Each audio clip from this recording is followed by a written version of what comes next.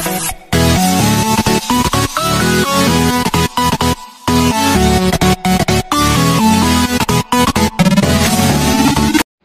isi-share ko today ang iba't ibang ng polka.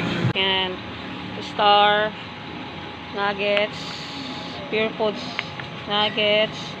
Meron din kaming embutido, chimpy. Chimpy flavor, masarap yung chimpy flavor.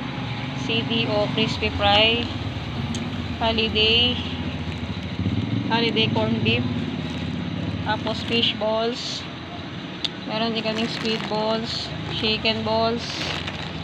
Ito po, ah, french fries, ah, cheese sticks. Meron din kaming cheese sticks. Chicken, yan, magnolia chicken. Ito po yung fantastic, tocino.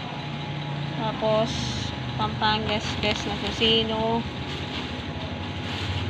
Meron din kaming tindang atay. Ito po yung atay, atay ni Magnolia. Ayan guys, ito, atay ni Magnolia. One pack siya. Guys, meron din kami mga ano yung hot dogs, yan, tender juicy, classic, yung jumbo, meron din kami nito. Tapos, bossing, rabel, cheese dog, at saka regular nito, meron din kami. Yun pong footlong, yung rabel.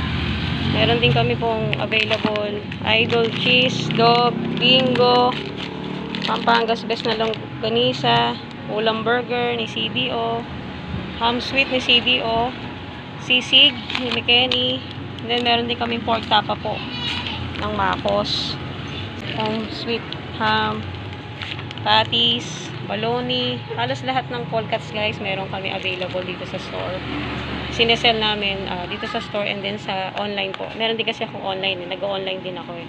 Yung mga friends ko na medyo malalayo and yung mga customers kong suki, ayan, pag hindi sila nakakapunta rito, pinapa-online na lang sa akin. Binubok ko po ah, via Lala Move.